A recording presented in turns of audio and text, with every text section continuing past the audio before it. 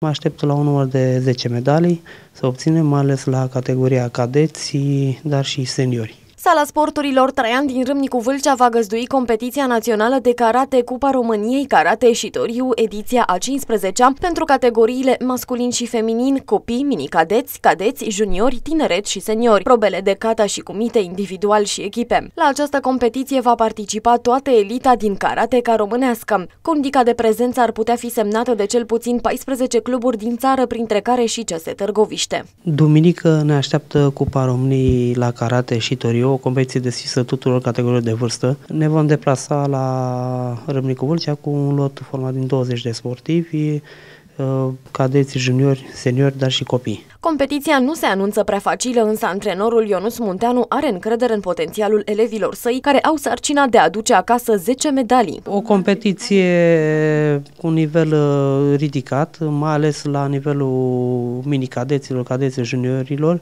dar de ce nu și la seniori, țin cont că ne întâlnim și cu sportivi de la Dinamo București, un club fruntaș în țară. E, anul trecut am obținut tot așa numeroase medalii la acest, această cupă, țin cont că e o competiție deschisă stilului și toriu, deci ne așteptăm la un număr destul de mare de medalii, și anume 10. După ce se vor întoarce de la Râmnicul Vâlcea, sportivii vor intra în focurile pregătirilor pentru a fi în formă maximă la Openul României la karate, care se va desfășura în perioada 23-24 noiembrie 2013 la Brașov. O ultimă competiție mare, pot să zic, Openul României la karate, o competiție interstiluri pentru cadeți juniori, tineri și seniori. Vom fi și noi prezenți acolo cu un lot format din 10 sportivi. Așteptăm și acolo să obținem vreo 3 medalii.